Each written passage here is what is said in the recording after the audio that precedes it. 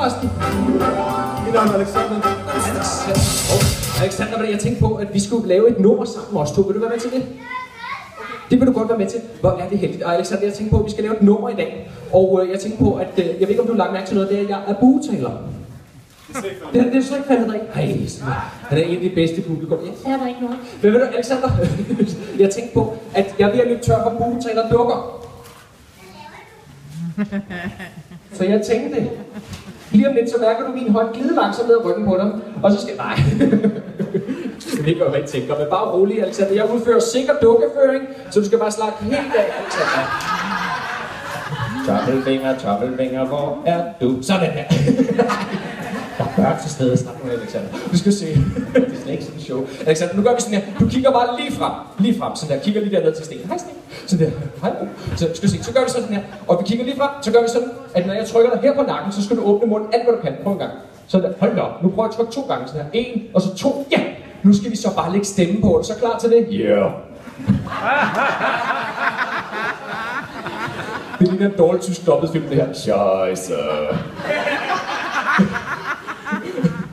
Lille smule noget med øh, synkroniseringen her. Men ved du, Alexander, jeg har en lille ting til dig her. Du skal se, jeg skal lige have noget her. Jeg har taget noget med her. Du skal se, det er derfor, jeg valgte dig. Du skal se her, fordi jeg har taget den her med her. Fordi lige om lidt, så får du den her på, og så er der ikke nogen, der kan se forskel. Nu skal du bare se.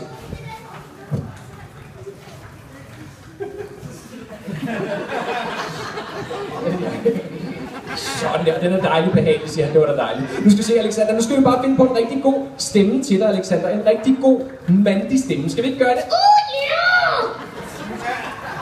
Alexander. Alexander, undskyld størrelsen. Den er lavet til et menneskehoved. Prøv lige, nu skal se her. Alexander, jeg tror lige, vi skal... Jeg synes, din stemme er en lille smule mærkelig. Jeg kan godt lide den. Kan du godt lide din nye stemme? Ja. Okay, fint nok. Jeg kan også godt lide dig. Alexander, sådan er jeg altså ikke. Sådan er jeg. Okay, Alexander. Jeg tror lige, vi prøver at varme en lille smule op. Jeg synes, din stemme er en lille bitte smule. Nej. Okay. Jeg synes, din stemme er en lille bitte smule høj. Ja, en lille smule høj, Mads. Så vi prøver lige at varme lidt op. Kan du lige gentage efter mig og sige sådan her? La la la la la la la. Kan du sige sådan? La, la, la, la. Nej, stille og roligt til du. La la la la la la la la la la la. Alexander, du modarbejder mig rigtig meget lige nu. Skide ligeglad. Du må ikke bande, når du står her. Skide ligeglad. Alexander, ved du, jeg har en god idé. Hvis nu vi varmer lidt op, ikke? Så hvis nu vi... Ved du, jeg har en god idé. Hvis nu jeg skal tisse... Ikke lige nu. Vi står lige midt i nummer, okay? Nu er det for sent.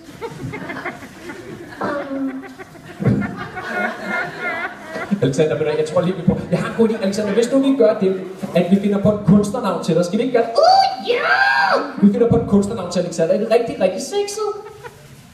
Rigtig, rigtig godt kunstnernavn. Og sexet.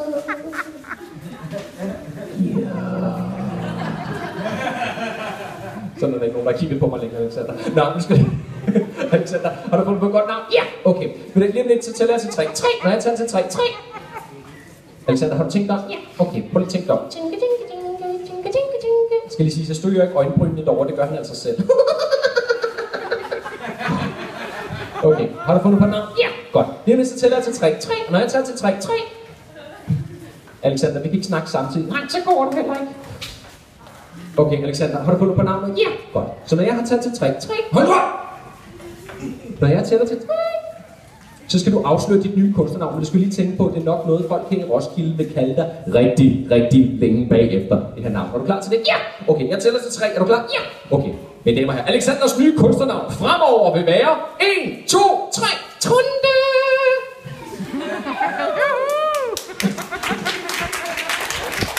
Du kan da ikke helt trunde. Skide ligeglad. Okay, men hvad, kan du ikke lige vinke farvel til alle dem, der sidder derude? Ikke lige farvel engang. Kan du vinke? Så der sidder hernede. Og så til hende, der filmer dernede. Skider ikke. Okay, godt så.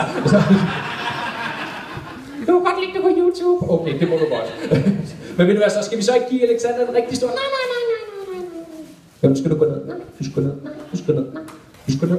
Hvorfor ikke? Jeg har ikke danset endnu. Hvad siger du? Jeg vil gerne danse. Hvad for noget? Jeg vil gerne danse. Vil du gerne danse? Ja. Okay, Bodo can dance. Opern Gangnam Style.